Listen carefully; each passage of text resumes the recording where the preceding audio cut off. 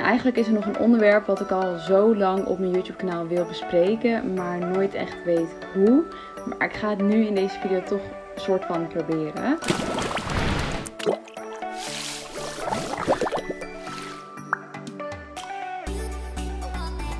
Helemaal in wat lezigheid naar deze nieuwe video. Vandaag is het weer tijd dat ik met jullie ga kletsen en make-uppen. Een beetje een ouderwetse video wat ik eerder echt heel vaak deed. Ik had namelijk gewoon heel erg veel zin om dit weer een keertje te doen. Ik heb namelijk het idee dat ik gewoon heel veel bij te kletsen heb met jullie.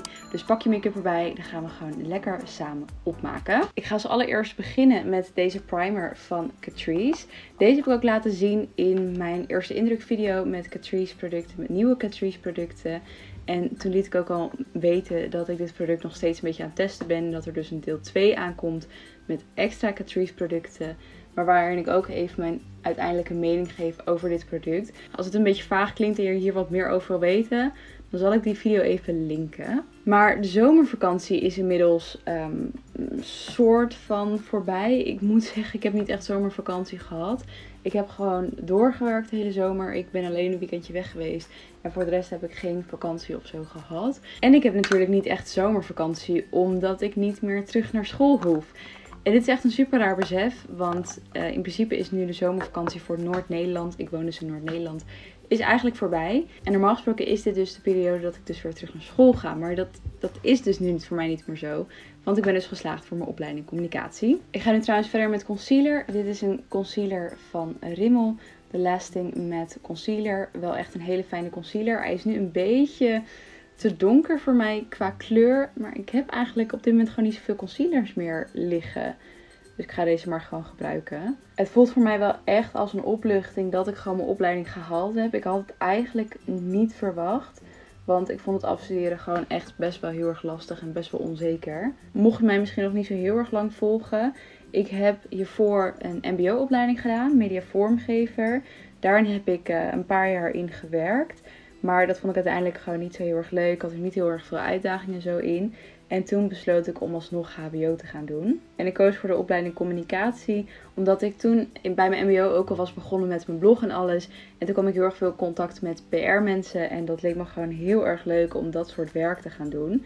En dat was eigenlijk de reden dat ik uh, voor deze opleiding heb gekozen. Ik ga nu verder met foundation. En dit is eentje van Essence, de Pretty Natural Foundation.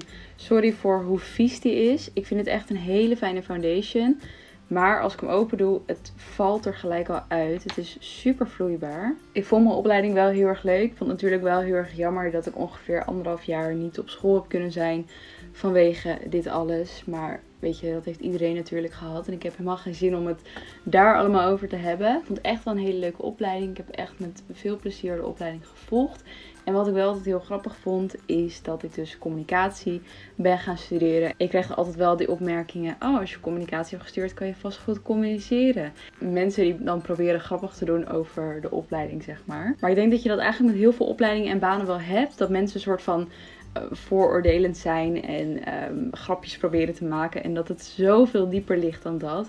Maar dat is bij communicatie ook echt wel zo. Ik ga nu verder met mijn wenkbrauwen en ik gebruik nog steeds dit product van Colourpop. Ik ben alleen nooit zo heel goed in het doen van mijn wenkbrauwen en praten tegelijkertijd. Dus die ga ik eventjes snel allebei bijwerken. En eigenlijk is er nog een onderwerp wat ik al zo lang op mijn YouTube kanaal wil bespreken. Maar nooit echt weet hoe. Maar ik ga het nu in deze video toch soort van proberen. En ik wil er ook helemaal geen big deal of wat dan ook van maken. Maar ik wil het gewoon een keertje bespreken. En dat is namelijk dat ik best wel vaak opmerkingen heb gekregen of ik niet wat te stil ben of te rustig ben om de opleiding communicatie te volgen. Omdat ik, ik ben best wel introvert, ik ben best wel verlegen. En ik heb daar zelf helemaal geen problemen mee. Ik vind het eigenlijk best wel lekker om ja, hoe ik me voel, zeg maar. Ik heb er helemaal geen probleem mee dat ik niet op de voorgrond hoef te staan in groepen of op verjaardagen of wat dan ook. Ik vind het gewoon heerlijk om verhalen van anderen aan te horen. En ja, ik, ik haal daar gewoon heel erg mijn plezier uit. Maar het verbaast me altijd gewoon nog heel erg hoe vaak ik opmerkingen krijg. Ehm, ook op verjaardagen of op uh, momenten waarbij je met veel mensen samen bent. Opmerkingen krijg van vind je het wel gezellig? Je bent zo stil. Is er iets aan de hand? Um, je bent wel een beetje saai of wat dan ook. Weet je, ik voel me goed zoals ik me voel. Ik vind het helemaal niet erg om introvert te zijn. Maar het lijkt wel alsof andere mensen het wel heel erg vinden. Ik ga nu trouwens verder met mijn oogschaduw. Ik gebruik dit paletje van Natasha Denona. Dit is zo'n mini oogschaduwpaletje. Echt een hele mooie is dit. Dit is de mini nude versie. Ik heb bijvoorbeeld ook wel eens functioneringsgesprekken gehad met oude werkgevers. En die ik vond het altijd gewoon heel erg beledigend overkomen. Want iemand heeft me dus bijvoorbeeld een keer vergeleken met collega's. Die zei, ja, je collega's staan hier en die collega staat daar. En jij staat hier. Je laat je niet zoveel zien op de voorgrond. Toen dacht ik echt, ja, wat maakt het uit dat ik me niet op de voorgrond laat zien, weet je wel. En in mijn omgeving ben ik ook best wel open dat ik uh, bezig ben met YouTube en zo. In het begin zei ik het echt tegen niemand. Niemand wist dat ik er uh, wat mee deed en ja, op een gegeven moment komt dat toch een beetje uit als mensen je gaan vinden online. Maar het is zeker niet het eerste wat ik vertel. Maar tegenwoordig ben ik er wel wat meer open in, omdat ik er ook wel weer trots op ben. Maar als mensen dan mijn video's kijken, dan is het wel altijd de opmerking die ik krijg. Niet van iedereen, maar toch wel van veel, verbaast me. Zo van, eh, je bent zo leuk, gezellig en vrolijk en, en alles in je video's. En in het echt ben je dat niet. En ik vraag me altijd af wat daarmee bedoeld wordt, zeg maar. Zo van, wat, wat wil je hiermee zeggen? Wat, wat wil je dat ik ga doen? En nu lijkt het net alsof ik in mijn video's anders overkom als in het echt. En ja, misschien is dat wel zo. Maar zeg maar niet als in echt een heel ander persoon. Maar YouTube is natuurlijk toch een momentopname. Dit is een video van, wat zal het zijn? 10 minuten, misschien 20 minuten, misschien ergens ertussenin. En ik ben hoogstwaarschijnlijk iets van een uur of anderhalf of twee uur aan het filmen. Dat verbaast je soms echt over hoe lang het filmwerken eigenlijk kan zijn. En alle stukjes waarin ik stil ben, die knip ik er natuurlijk allemaal tussen weg. En daarnaast heb ik in mijn video's natuurlijk gewoon een onderwerp waar ik over wil praten. In dit geval is dit het onderwerp wat ik gewoon heel erg graag wilde aankaarten. Maar in een andere video waarin ik make-up ga testen, ga ik het eigenlijk alleen maar hebben over die producten. En als mensen bijvoorbeeld een keer tegen mij zeggen zo van... Hey, in je video's ehm, ben je veel spontaner, praat je veel meer en kom je wat minder verlegen over... En dan zeg ik ook altijd, ja, weet je, als je nu wil dat ik 10, 20 minuten over je ga praten over hoe je foundation mooi aan kan brengen, weet je, be my guest. Ik doe het met alle liefde. Maar dat, ja, dat antwoord is dan natuurlijk altijd nee. En wat ik dan wel weer grappig vind, is dat ik dan op YouTube wel best wel vaak comments krijg van mensen die zeggen: Wat heb je een fijne rust over je heen? Wat zijn je video's rustig en niet zo extreem druk? En dat is dan ook wel weer grappig. Dat ik dus voor mensen in mijn persoonlijke omgeving juist weer wat wat minder verlegen overkom op YouTube. Maar dat ik in de YouTube scene alsnog meer in het verlegen, rustige hoekje zit, zeg maar. En dit is ook wel een klein beetje een reden dat ik niet zo heel erg vaak video's opneem met andere YouTubers. En dat komt eigenlijk een beetje omdat ik wel, uh, als ik dat deed, uh, comments kreeg dat ik uh, te saai was. Dat ik niet zoveel zei als die ander. En waarom ik zo stil was. En eigenlijk heb ik gewoon niet zo erg veel zin in die comments. Dus als ik collab met iemand, dan wil ik gewoon heel erg graag die connectie voelen.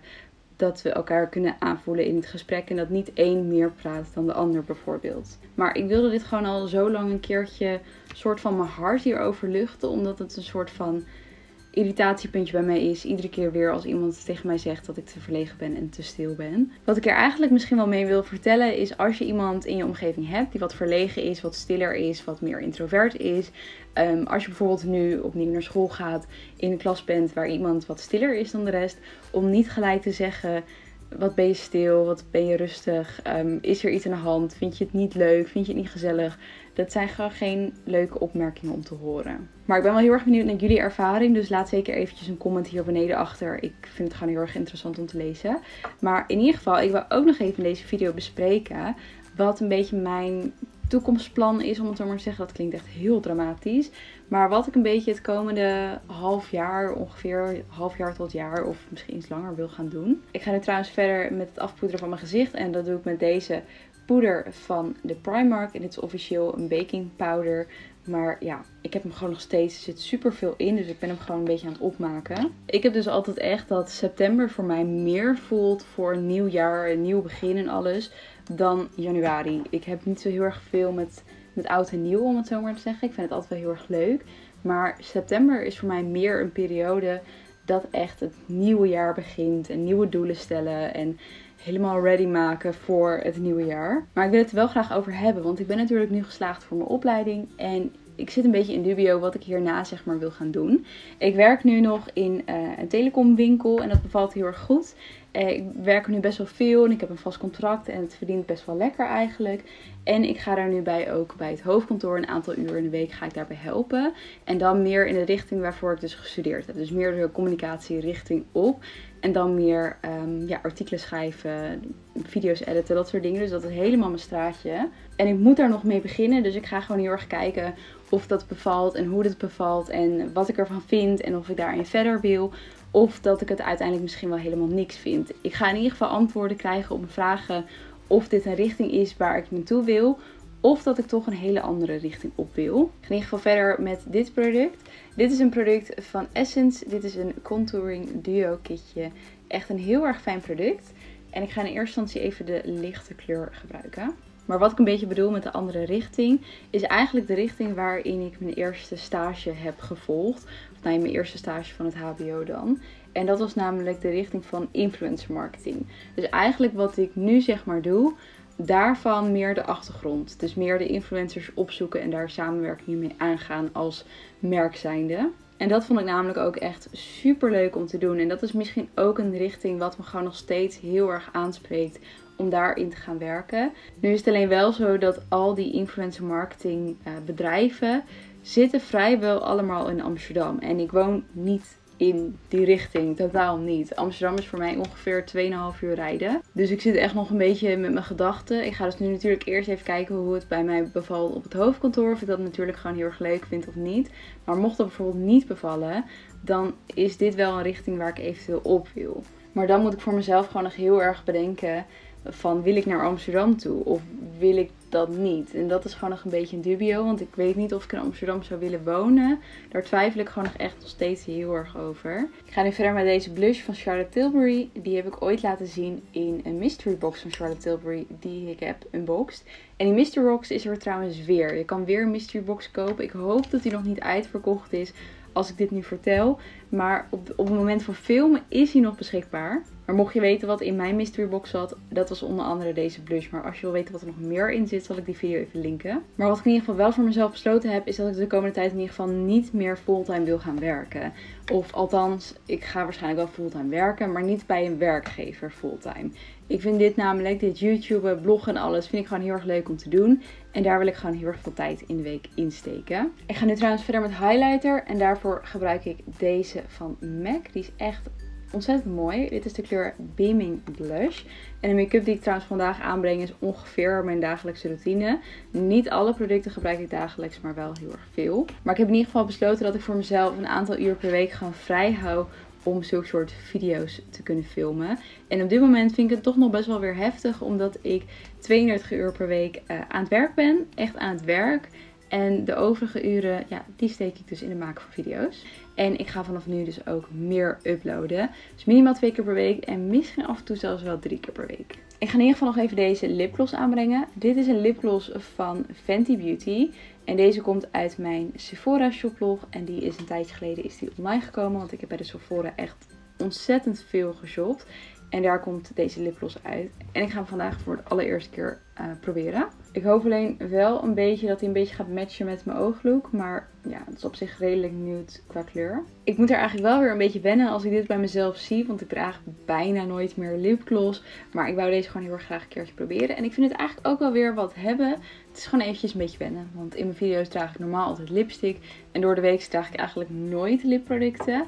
Maar ja, ik vind het ook wel weer wat hebben of zo. Ik ga in ieder geval nog dit product gebruiken. Dit is een product van Rimmel en dit is de Wonderful Brow. En hiermee ga ik nog even mijn wenkbrauwen zetten en eventueel een beetje de wat lege stukjes. Al heb ik best wel dichtbij getekend, dus er zijn niet heel veel lege stukjes. Maar dit is een product wat dat eventueel een beetje kan opvullen. Omdat er dus hele kleine vezeltjes in zitten. Maar het blijft ook gewoon heel erg goed zitten. Ik vind het altijd wel een prettig product. En dan ga ik het nog eventjes um, ja, zetten. En ik zag dit product net nog staan. Toen dacht ik, ja, dit is een prime en set mist. Dus ik had hem ook van tevoren kunnen gebruiken. Maar dat ben ik gewoon helemaal vergeten. Dit is namelijk een product van Becca. De Becca Skin Love Glow Shield Prime en Set Mist. En deze verpakking, deze is echt super mooi. Heel erg mooi met dat holografische kleurtje. En deze heb ik dus ook gekocht bij de Sephora. Ik vond het in ieder geval echt weer even fijn om echt mijn hart te kunnen luchten en eventjes met jullie bij te kletsen. Ik had echt het idee dat het gewoon echt hoog nodig was. Maar vond je dit nou leuk om te zien? Doe dan zeker je blauwe duimpje omhoog. Vergeet je ook zeker niet te abonneren en dan zie ik graag de volgende keer weer. Doei doeg!